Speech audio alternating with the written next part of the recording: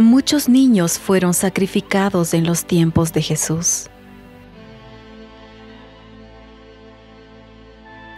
No puedo imaginar cuántos sufrieron. Pero me siento contenta cuando veo a niños felices.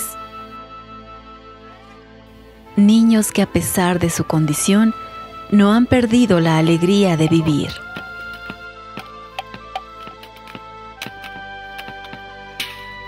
También siento un dolor inmenso cuando al mismo tiempo veo a tantos niños en la miseria.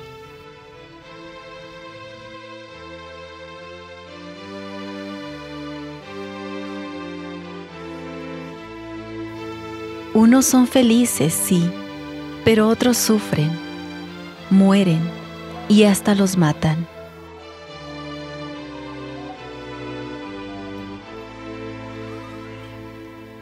Insistías en que dejaran que los niños se acercaran a ti, y los acariciabas, y los besabas.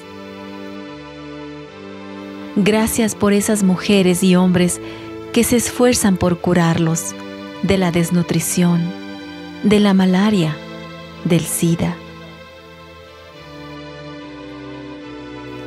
Gracias por esta mujer que sin saber leer ni escribir, ha sido capaz de atender casi como una madre a cientos de ellos.